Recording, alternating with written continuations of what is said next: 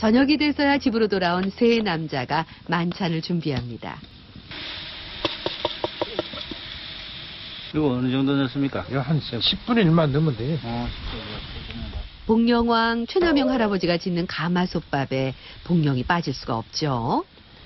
백봉령밥. 야, 신기합니다, 이거.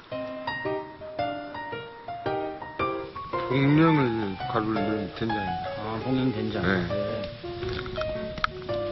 된장조차도 평범함을 거부하는데요. 복령가루 듬뿍 넣은 복령 된장을 남자답게 팍팍 넣어주고 배추도 남자답게 손으로 팍팍 찢어서 넣습니다. 어, 괜찮네요. 아, 간 그래도 괜찮아요? 간 괜찮네. 간만 맞으면 돼요. 어. 세 남자의 밥 짓기는 저녁 늦게까지 계속됩니다. 아들이 정정 와가지고 이렇게 밥도 해주고 그래서 같이 밥도 먹고 그런 게 좋죠. 그리고 오늘 같은 날또 아들 왔으니까 그 배추도 넣어주고 얼마나 좋을까. 아, 그런 게 간도 봐주고. 어. 아드님이 예. 그래서 잘 보살펴 주네요. 네. 어, 또 노인들도 혼자 사는 법을 배워야 하잖아요. 어, 네, 그렇습니다. 이렇게 해서. 예. 아유, 밥, 밥, 다, 다, 다, 탑니다, 이거 지금. 아, 탄다니까, 지금. 완전 단도로 보면 큰일 난다, 이거. 죽어. 이 공룡이 딱 눈썹이처럼 앉아있네요. 어, 눈이 안 녹았네. 자, 난생 처음 먹어보는 복령밥. 과연 그 맛은? 그냥 밥만 있어도 되겠습니다.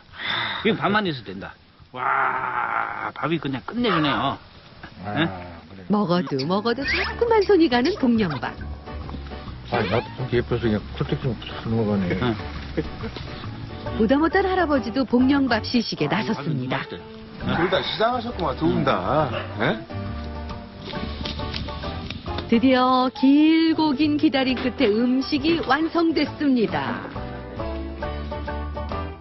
세 남자가 만든 복령밥과 복령 된장국. 그야말로 건강식 만찬이 따로 없는데요. 아, 오늘 이제 고생 많으셨는데 저녁 식사나 맛있게 드십시오.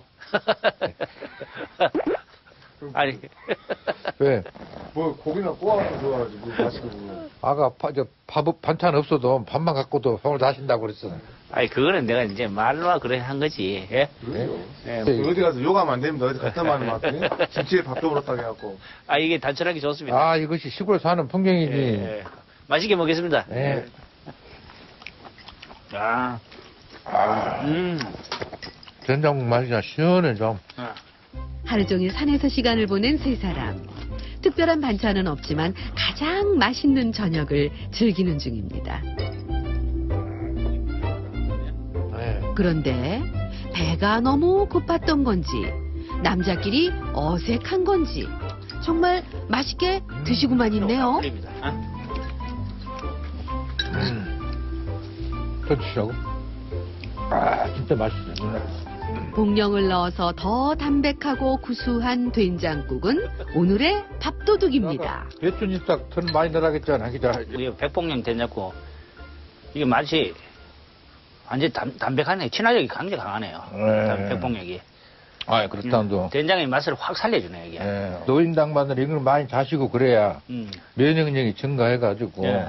잔병을 안 치르고 음. 건강을 쌀 수 있지 않느냐. 아,